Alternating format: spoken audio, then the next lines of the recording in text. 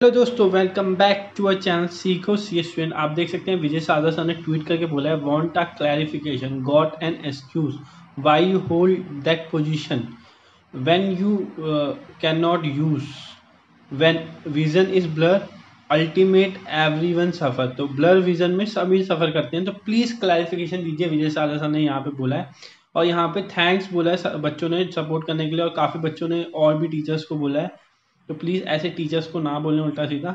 And online exam लेने, लेना है तो कम से कम ऑनलाइन प्रैक्टिस तो करा दो। 20 से 30 दिन तक की एक्सटेंशन दे दो। तो बच्चे यहाँ पे एक्सटेंशन भी डिमांड कर रहे हैं। बच्चों ने बोला है कि एक साल वेस्ट हो जाएगा।